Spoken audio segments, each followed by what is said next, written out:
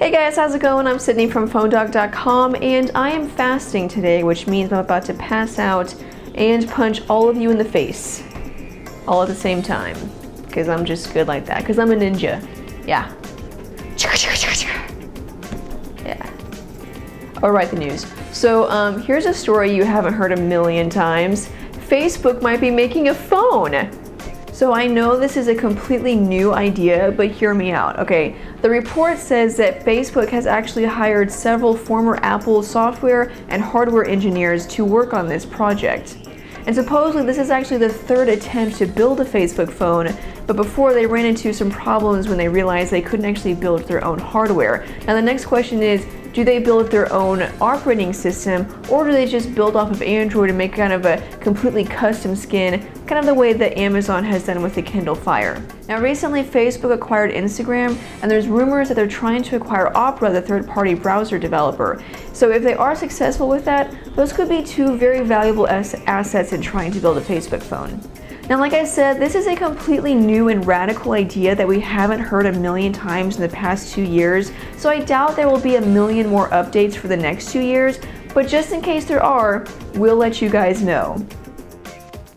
Speaking of rumors we haven't heard a million times, the next iPhone could have a 4-inch display. I know, that's crazy. Like, I've never heard that before. But supposedly, according to 9to5Mac, Apple is working on a couple of new displays, one of which could measure up to 3.99 inches and have, have a resolution of 1136 by 640.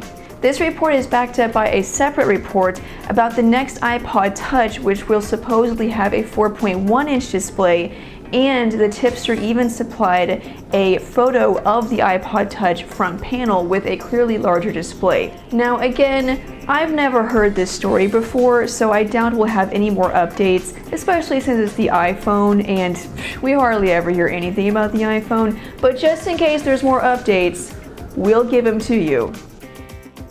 Now let's move on to everyone's favorite segment, Where's My Freaking Update? It's been like six months already. For the love of God, just send me my update. I'll even promise you my firstborn child. Just send me the freaking update. It's a new title. We're, we're, we're working with it.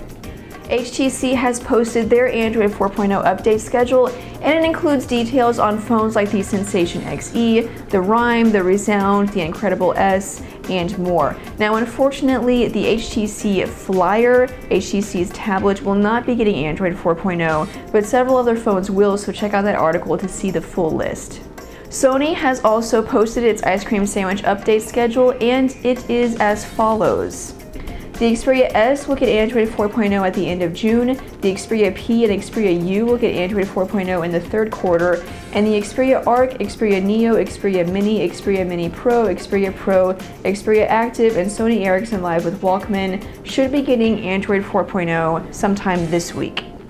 Now, if you're wondering why the Xperia Play is not on that list, it's because the Xperia Play will not be getting Android 4.0 because Sony says they could not guarantee a stable experience once the phone was upgraded to Android 4.0. Now recently Motorola also released its update schedule and you remember that the Droid 3 and Droid X2 will not be getting Ice Cream Sandwich, which according to Taylor and myself is pretty ridiculous, but Motorola released a statement explaining itself by saying, we want the new release to improve our devices. If we determine that can't be done, well then we're not able to upgrade that particular device.